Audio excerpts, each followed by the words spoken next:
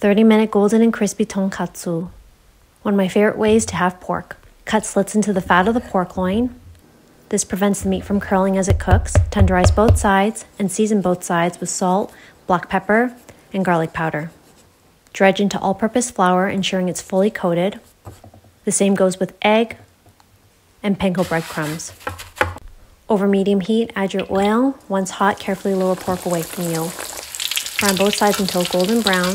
Remove and transfer to a cooling rack to rest. Then combine oyster sauce, ketchup, Worcestershire, and sugar. Slice it up. Enjoy. Visit profile for recipe link, like and follow for more.